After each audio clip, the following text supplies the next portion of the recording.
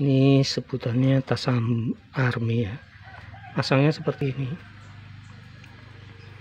Ini bisa dipasang di belakang di bawah saddle itu. Bawah saddle belakang di antara sayap atau selebor dengan framenya.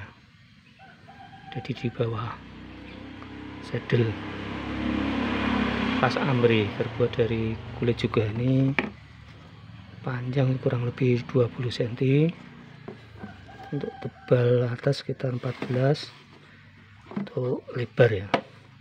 Untuk lebar bawah sekitar 7 untuk tebal sekitar 5 cm jadi ini masangnya. Ini selebornya pasang di sini selebornya di atasnya sini ada apa namanya saddle ini framenya framenya ke sini ya. Ke sini framenya. Atau bisa juga dipasang di depan saddle pasangnya seperti ini ini framenya. Ini frame yang atas seru laki-laki seru perempuan ditalikan di saddlenya